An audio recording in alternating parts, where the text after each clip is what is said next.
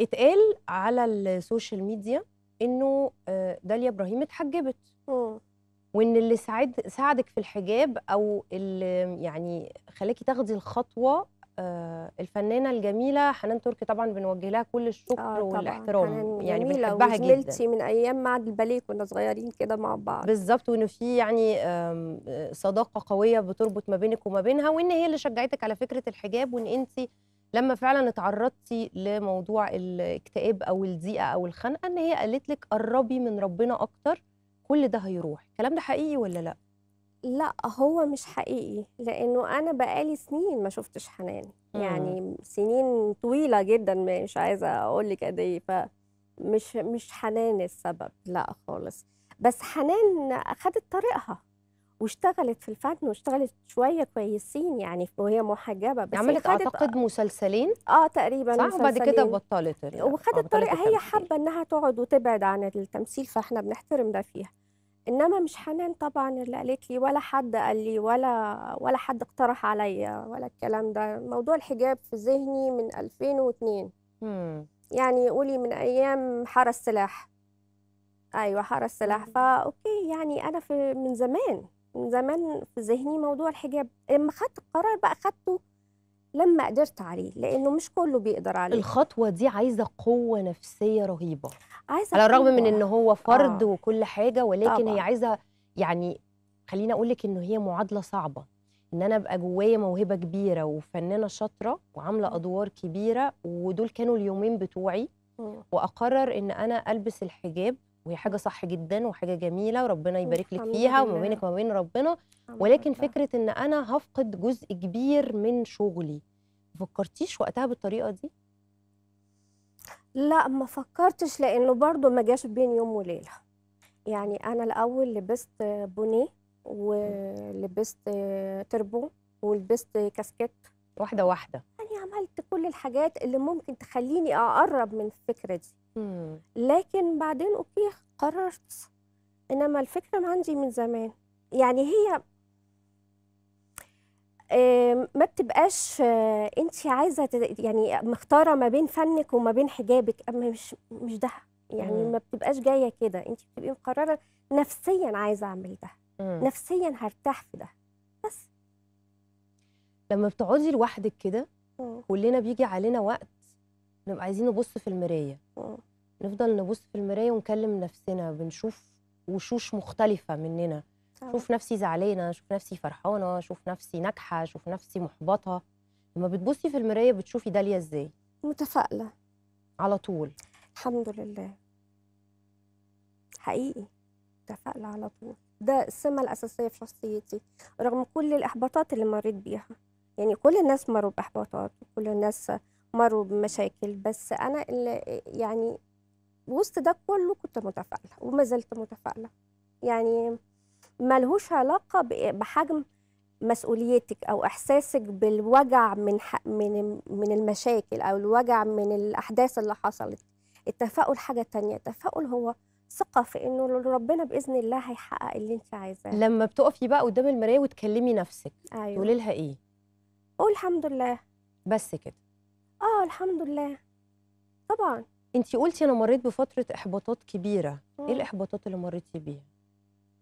بصي في خلال العشر سنين دي آه الموضوع ما كانش يعني مريت بأزمات آه ما كانتش سهلة عليا. قصة الطلاق مثلا ممكن تكون أثرت لا فيكي؟ مش فكرة الطلاق آه، مش مش بس الطلاق. لا يعني أزمات في الحياة اللي- الأزمات العادية اليومية ما يعني اللي بتمر بينا كلنا يعني. مش عايزة أتكلم في ده لأنه أنا فعلا كاتبة ده في كتاب فمش لا- يعني مش عايزة الكتاب اسمه أحكي. إيه اللي انت كاتبة فيه الحاجات دي؟ اسمه هكذا قالت. هكذا قالت. مم. طب ما تقولي لنا جزء من هكذا قالت ده حتى اسمه حلو قوي. طب كويس. هكذا قالت يبقى هكذا قالت داليا. قالت إيه بقى؟ يعني قالت حاجات كتير عادي يعني من الصغر لحد ما وصلت السنتين فاتوا مثلا. مم. مم. دايما إحنا لما بنيجي نتعرض لأي إحباطات يا إما بتبقى إحباطات مهنية يا مم. إما إحباطات زوجية يا إما إحباطات نفسية يا إما إحباطات مادية. يا إما إحباطات وجودية. وجودية طبعا. بمعنى؟ لا ده موضوع كبير قوي يعني يعني. أنا أسمعك قولي لي أنا عايزة لا أسمعك. إحباطات في إنك أنت كائنة آه، ممكن تبقي مختلفة مع كتير ومش قادرة مش قادرة تقولي لهم ده. ومتفقة مع كتير ومش قادرة تبقي واحد معاهم أو تبقي قريبة منهم. يعني انت فاهمة؟ وضحي لي أكتر. لا أصل ده مس- مسألة فلسفية ما قولي لي أنا معاكي بصي نقعد ونسمع الفلسفية زي ما انت عايزة بس وضحي لي آه، فهميني. آه، أكيد كلنا وإحنا صغيرين بنمر بمشاكل تمام؟ في حاجة اسمها علاج آه، علاج الطفل الداخلي. أنا. مؤمنة بعلم الطاقة أحيانا يعني بحاجات في علم الطاقة آه ومؤمنة. بال طب كويس عشان كده بقول لك أنا عايزة أسمع آه آه كويس آه آه آه آه وبعدين شخصيتك أنت اتكونت من من الصغر فبتقعدي تحلي مع نفسك بقى المشاكل اللي قابلتك طول حياتك وأنت ماشية. بتحلي شوية حلي شوية لحد فكرة. الكلاكيع اللي أيوة، بتبقى عندنا من وإحنا اطفال بقى، آه. بتفكي بقى الكلكوعه دي من بدايتها بقى وتتنقلي أصلها، من جدرها. مستوى لمستوى لحد ما. تتفقي مع نفسك وتبقى في تصالح طب إيه المشكلة اللي كانت أو الكلكوعة زي ما بنقول اللي كانت عندك وانت صغيرة وعانيتي منها وانت كبيرة لا أنا وأنا صغيرة طفلة هادية جدا مامتك كانت عنيفة معاكي؟ باباكي كان آه، عنيف معاكي؟ آه، آه، أمي شخصية قوية جدا جدا. ومسيطرة.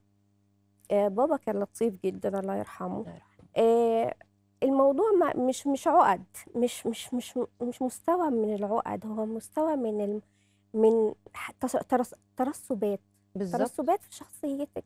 بعد كده بت بتكوني انت فكرة بقى عن نفسك وتمشي على خط اللي انت رسمه لنفسك أو الحالة اللي انت عايزة تبقي فيها. شخصية مامتك القوية دي أثرت فيكي بشكل إيجابي ولا سلبي؟ في فترة كانت سلبي جدا وبعد كده بقت إيجابي جدا. مم. حقيقي.